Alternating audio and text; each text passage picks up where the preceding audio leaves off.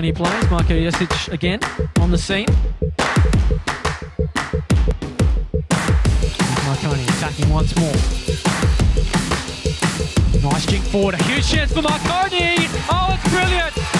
Richie Cardozo. It's a silky move from the Stallions, and they will open the scoring here tonight.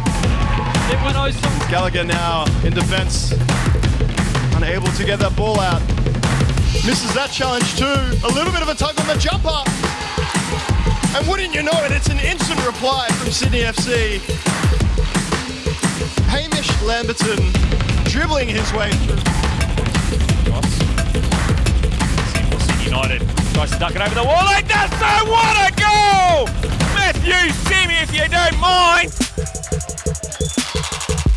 Well, that's why they wanted the 10 yards back.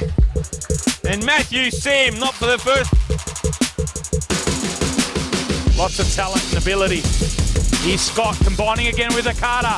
Akata looking inside. Terrific ball. What a goal that is! Terrific bit of play from the Wollongong.